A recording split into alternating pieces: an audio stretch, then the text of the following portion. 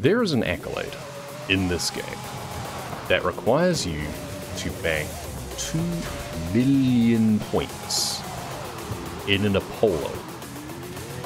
The Apollo is a car that costs over a million credits. It's very hard to get. I got lucky, and well, and I was persistent, and I picked this one up on the auction house for 700,000 or something. So, you know, a bargain. And the reason I wanted to buy it is so that I could get like the skill upgrades and stuff. Because that way I can make sure that my skill chain breaks in two hits, for example, and that I get slightly more points for some things. Otherwise, there is a challenge card that someone has put together which gives you the car to drive, sets you on the airport, and you can just cut loose. But you can't take advantage of skill songs while doing challenge cards, and that doubles your multiplier, which means that you only need to rack up half the score. So, kind of worth it, but it does then give you basically a time limit. You know, you don't have to complete the combo within that time, but you can't start a new one but it's a case of as any time a skill song starts, I just need to jump in this car and do what I can to rack up bonuses. It's not likely to run out from me breaking it. It's likely to run out from me doing exactly this. Yeah. Exhibit A. You overcook it slightly, and this car is very easy to overcook it especially on the dirt. And you just spin, and you can't get credit for anything. If you're on dirt, you do not get burnout skills pretty much, so you just you just can't continue it, and that's extremely annoying. Because you can't just continue a skill combo just by breaking things. You have to, that'll be too easy. So you have to mix it up with a drift or an E-drift, something like that. But if you drift in the wrong place, you'll spin out. And sometimes the game just doesn't want to recognize that you've drifted. It's like, yeah, I've got all four wheels sliding. And the game just goes, no, nah, that's not a drift, I don't know what to about. so you are fighting the game on a lot of levels. And you've just got to be patient. My biggest problem is that I will just get a little bit too impatient. Or more greedy, really. Not really impatient per se, and more just greedy. And I'll go and try and add more skill doing different things, like, oh, I'll just try and get that pop right there. Uh, I might try and get some some of those tables and stuff there in order to try and get slightly more points. You get the throwing shade, for example, if you break an umbrella, you get ant food if you break a picnic table. So it's all of these things that I'll be trying to add up just to accrue the score faster. So the skill song has now run out. So that means if I lose this combo, it'll go down to a maximum of a 5 multiplier, which means you have to rack up more points. The key point is you just don't want to lose it completely due to like wreckage. You don't want it to be lost. Though there is also an accolade for losing a combo of at least a million, I think. You do that in any car. There are much easier cars to rack up big combos in. This is not an easy car to rack up a combo but you just gotta kind of chip away at it. I like using the stadium as opposed to likes of the runway, simply because you can theoretically just race around and around in circles, just occasionally popping an E-drift like that. You've got complete control over that. And if you don't overcook it, you can just keep it going. Or you can overcook it like that, and now you've got to hope that you get a burnout skill and maybe a 180. And now you can go back the other direction for a bit. And just try and do the same sort of thing. Just pop an E-drift here. Get a bit of wreckage. Maybe we try and do a, a proper drift for a little bit longer. There we go. And now we can go... I prefer to go this direction. It's just a... Maybe it's because I'm right-handed. I don't know. I just, I find it better to go this direction. Now we just break some stuff after having done some drifts, because we know that it'll count. Kind of want to drift, and then wreckage. Drift, and then wreckage.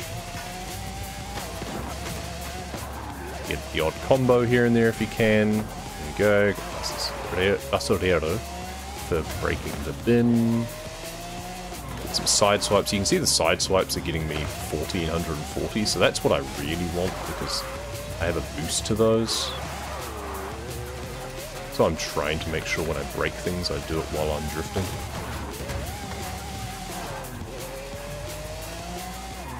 So almost halfway there.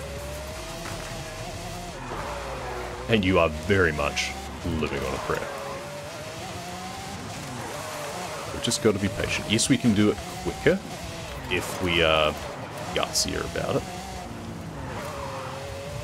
Let's here. Got to make sure that the last one has like completed before it'll let you get another one. Wreckage there. Good. Side swipe. Good through here. Sure, let's break the picnic table so we get the ant food. No, we didn't get the ant food. And that's the thing is, sometimes it just goes, you know what? No, I don't want to give you the combo. And you're like, game, please.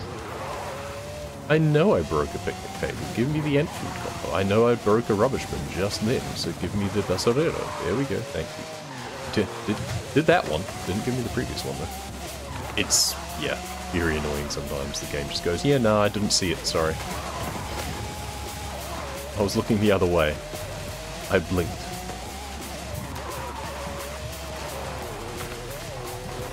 clay. So I'm getting extra points for just combos, as well as extra ones for side swipes in particular. That's why that one's like got a double boost essentially. Just got to have a sense of timing of, okay, this is when I need to do one of the E-drifts just to keep it going. There we go, there's, there's a rubbish bin to hit. So we're over halfway there. So not only is there an accolade to get over 2 million in this car specifically, there is one to get 2.5 million in any car. And it's like, well, if I'm banking up 2 million already, I may as well push a little bit further even though it's not in the most optimal car for doing so, just to get the other one as well. Because the thing with the game is that beyond 500,000 skill points, it's all wasted. You don't get anything more for it. You get a maximum of 10 skill points from any redemption of skill score. So that's 500,000, because it's 50,000 per skill point. So going into massive combos, other than for accolades, gives you nothing.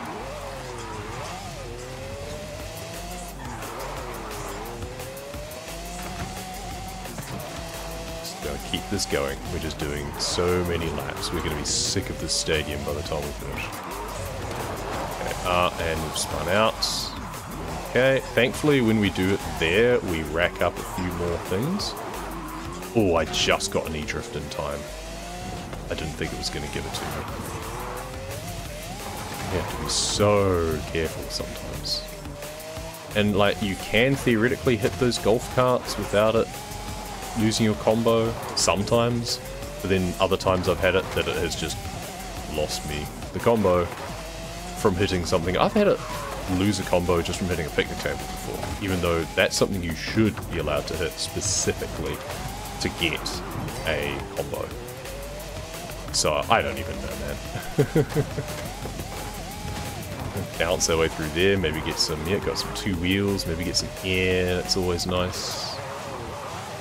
1.5 million, we get in there. I'm just going to avoid those tables. I should be able to hit them. But I'm just going to avoid them because I've been burned before. And just smash our way through here. So for 2 million, we need to have 200,000 times 10. What's the betting we lose it when we're at like 190,000? That would be very us.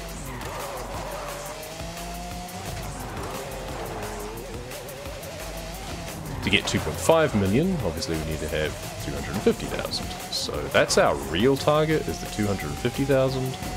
But so long as we bank the skill after we get over the 200,000, we're fine with that. we won't be perfectly happy, but we're fine with that. Because that's the thing that requires this car, not a different car. Because there are some that are just easier to control. Like I could... Oh no. I could be doing this pretty much all day with some vehicles, some of the Hoonigan vehicles. I could, yeah, literally be doing this all day. And there's a couple where the multiplier skill will go up to 8 instead, so you don't need to feel like you have to have a skill song to make it worth it.